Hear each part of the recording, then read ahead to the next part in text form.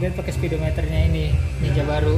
Jadi speedometer Ninja baru ini ready sudah plug and play. Jadi soketnya sudah sama sama kayak soket Ninja yang lama. Jadi kalau di Ninja lama semuanya berfungsi.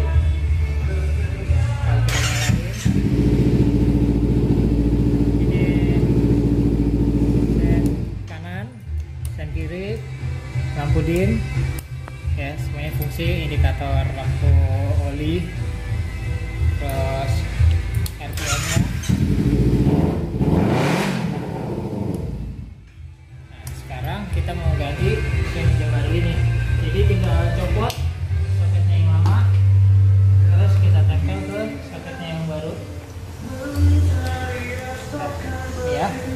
terus kita hidupin.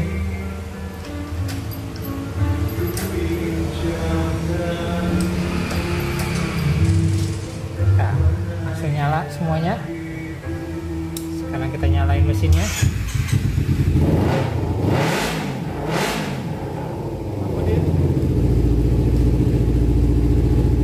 RPM kiri dan kanan. ya jadi semuanya langsung berfungsi indikator bensinnya juga sama fungsi juga netral nyala oke jadi